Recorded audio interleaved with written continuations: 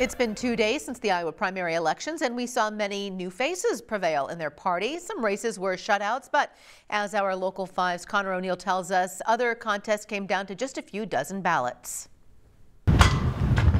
The race for Marshall County Supervisor featured three Republicans on Tuesday, with two of them receiving over 90% of the total votes. Haverhill farmer Kevin Goodman and Timber Creek Township Clerk Bill Schendel dueled it out as the frontrunners for the seat after former Marshall County Supervisor Steve Salasek retired. Over the past few weeks, Schendel attended meetings and in parades listening to his constituents' questions.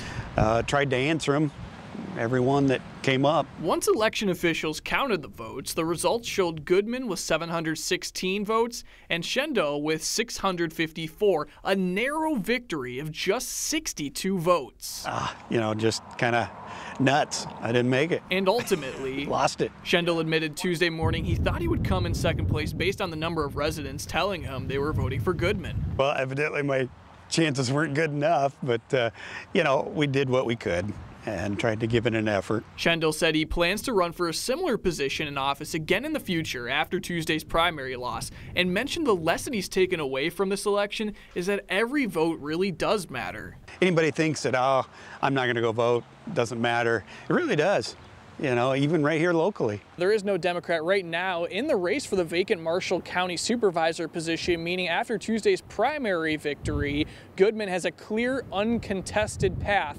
to winning the seat after the November general election. In Marshalltown, Connor O'Neill, Local 5 News.